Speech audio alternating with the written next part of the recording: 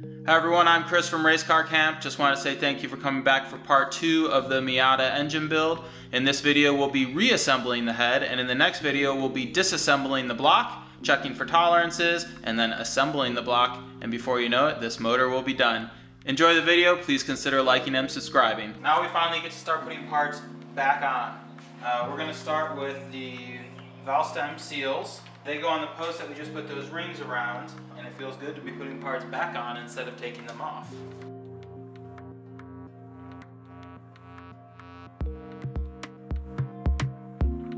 There are two different valve stem colors. One is green and one is gray. Gray has a larger diameter. So we're going to put gray with the slightly larger diameter on the intake side, and green with the smaller diameter on the exhaust side.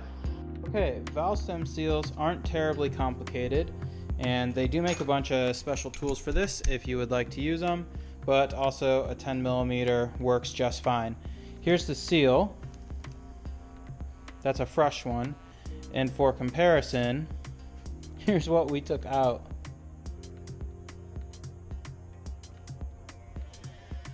So you can see how crusty they get and how they might go bad. You can also see how large the hole has been around the valve stem. I like to just put a dab of oil on each one to help everything seat. This is my old school oiler. Um, very simple, just gonna add a dab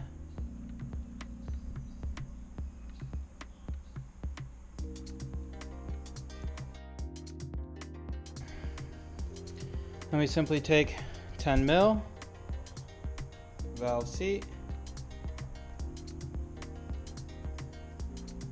and line it up.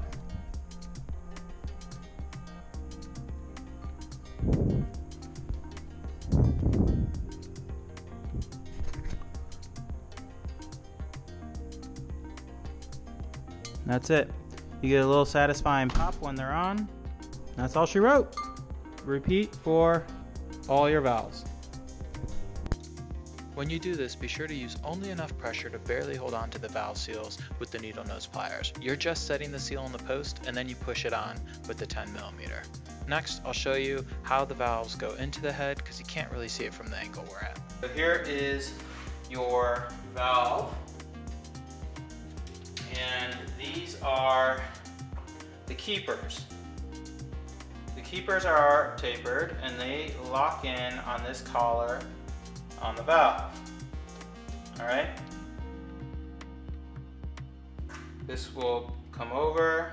These lock in on the collar on the valve. And then when you release the spring, that locked in collar is what holds it in. The method that I have decided works best is called the grease method. And what you're gonna do is get a little bit of synthetic grease and you put some on the inside of the keeper and a dab on the outside of the keeper and then fish it down onto the valve and watch. It'll stick right in that groove for you which is the only way you can release the spring inside this tiny little chamber. At least I did seven valves in the amount of time it took me to do one without the grease. So this is the official way I'm doing the rest of them. I wanted to show you one. I'm to try and get it so you can see what I'm working on. Valve. Dab of oil. You see I cleaned them up. Insert into head. The new valve seal should hold it. Spring, shim, brass brush, kerosene, quick scrub. Not doing anything more than knocking the sludge off. Not trying to get this back to, you know, brand new show car valve train here. Brake cleaner breaks down the kerosene. dab it clean on the rag. Blow. You see that actually looks like a nice metal instead of something all carbon. Drop on the valve. It sits in the seat here. Grab the shims. Brake cleaner on the shims. I'm sorry, keepers, not shims. Grease. Dab on the inside. Sticks on the outside. Spring compressor. Try and give you room on either side pointed away. So see I can come in from this way and this way. Gonna point it away from the cam bearing ledge. Make sure we're lined up on the valve to not scar our aluminum. Compress. Keep her on a stick. Comes over, sticks on the valve. She's stuck. Get the other one.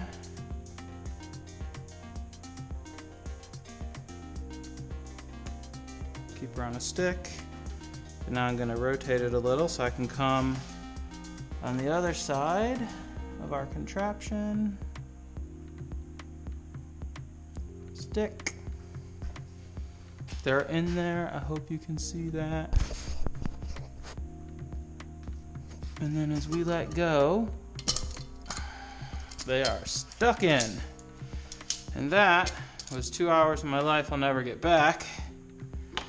But I think I could do the next one in about 35 minutes. So you can see this one doesn't have any grease. I did that with tweezers. That one alone took probably 30 minutes. All the others, I don't know what was that, four or five minutes. Um, but of course, I got really good at the last one. So you can see our head is way more clean than it was. This will be the last bit to go on, when I'm going to sleep. All right, so gonna finish putting everything in. Um, yesterday we finished up all the valves, so I don't need my valve tool, but I'm gonna use the book because I don't know all the torque specs off the top of my hand. So we're gonna put the lifters um, back in in the order they came out, which is why we labeled them. Then we'll put the cams in, and then the caps. Caps only go in one way and in one order, facing one direction or you'll crack them as I often mate with the bearing surfaces. Now that the valve and keepers are all installed, I'm going to tap them with a hammer and a rounded off socket end just to give them a chance to vibrate into place one last time before revving as the motor turns on.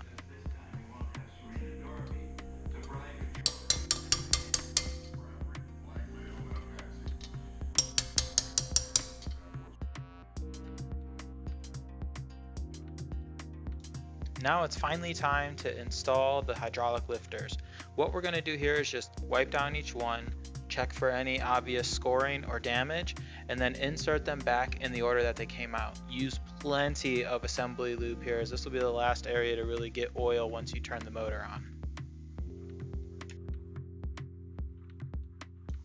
A big thank you to Midwest Miata Parts who basically sponsored this video by donating all of the pieces going back into this motor build for the Force raffle car. If you're interested in that, head over there or head over to Force's website. I'll have links in the description.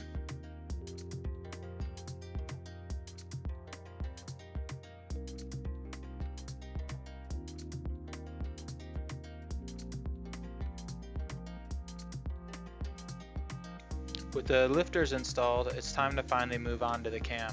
Now ours has been sitting out of the motor for a little while and so it's starting to get some surface oxidation. It's no big deal, we'll use a little bit of wet sandpaper and some kerosene from our bucket and just smooth out the surfaces. Now remember, we're not reshaping anything, you're barely even scuffing this, but just enough to knock the rust off before you go to reinstall. And if your cam is still smooth and clean, you don't need to do this step at all.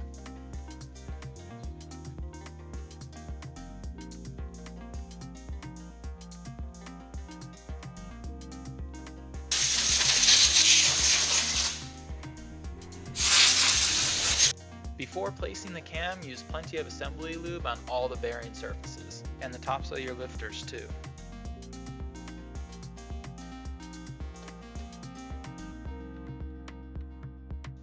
Before we install the bearing caps, I want to be sure I pick them up in order, one at a time, and clean all of the old sludge and deposits off of each one. I'm going to use my brass brush and the kerosene bucket and just brush everything off. Again, we're not reshaping anything, we're just getting rid of the dirt, trying to clean everything off. Blow it off with brake cleaner, dry it off with your microfiber towel, and then you could even use a little compressed air at the end to just be sure you get all the lint out and install them in the same order you took them off in the same orientation.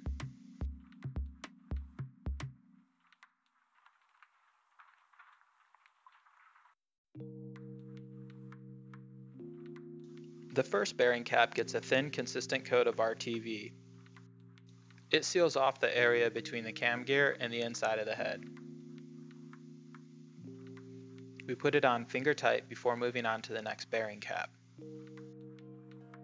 All the subsequent bearing caps are cleaned in the same way, one at a time in order from front to back. Brass brush, a little bit of kerosene, a little bit of brake cleaner, microfiber, a little bit of compressed air, don't forget assembly lube on the underside of every cap before you finger tighten them. And now literally, wash, rinse, repeat before we torque everything down. Remember, we're just putting everything on hand tight for now.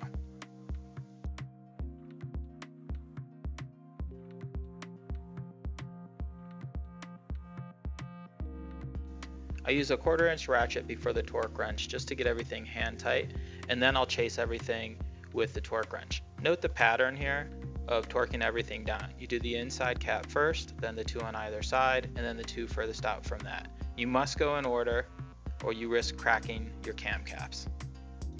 The process is exactly the same for the intake side of things. We're gonna wash, rinse, repeat all the cam caps. You're gonna use a little glue on that first cap, and then you gotta be sure you use assembly lube throughout.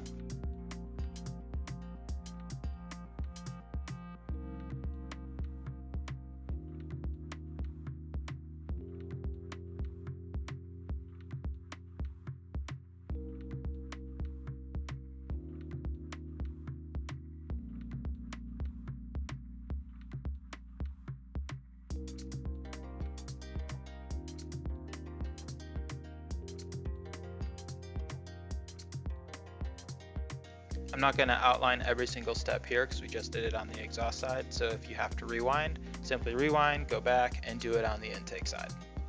Next up is the thermostat neck and housing. My camera died, so I don't have it on video. Assembly is just opposite of disassembly, so be sure to use your new gasket from your Mazda kit. I'm going to show you again one of my more favorite tools. This is a oil seal. It goes on the cam. We've now got everything reassembled sits on here with a little bit of oil from my old school oil can. And then this cam seal installer is machined aluminum. Find me how to make some. They're amazing. We use the OEM bolt and washer. It threads on. And then it pushes the seal in proportionately, evenly, uh, so that you don't get uh, warping and it goes on because of the machining. Once it stops, it's all the way installed. Normally you hit this with a mallet and a you know 32 millimeter socket or whatever that is. There, we're at the stop, which means our seal is installed. And it is seriously that easy. I don't even remember what they sell these for. They don't charge enough money. That's how good of a tool it is.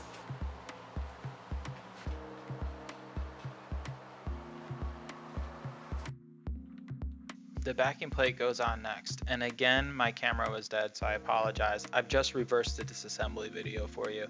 Your gasket kit should have a fresh U-gasket that goes over the thermostat neck on that backing plate. Just be sure to switch that out if yours is bad. With the plate installed we can move on to the timing gears.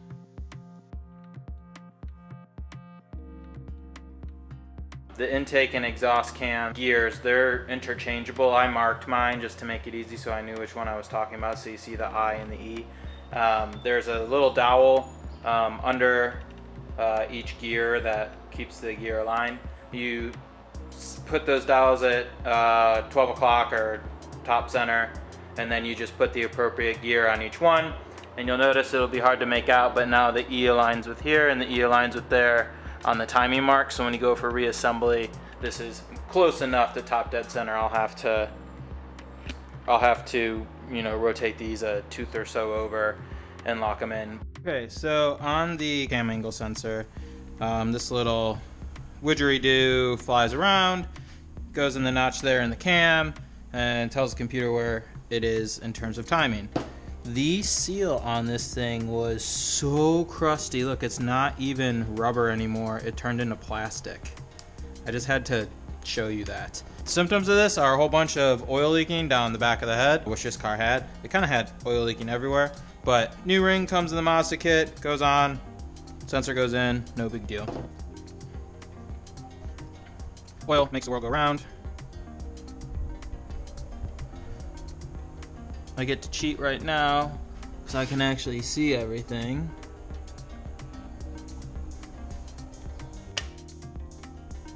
And we're in. No big deal.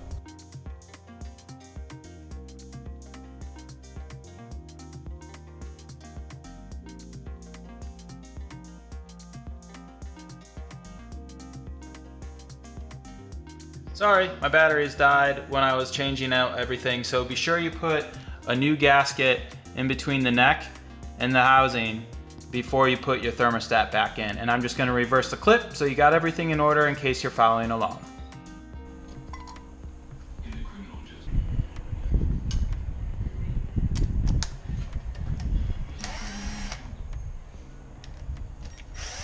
That's it for the head assembly video. I hope you found it useful.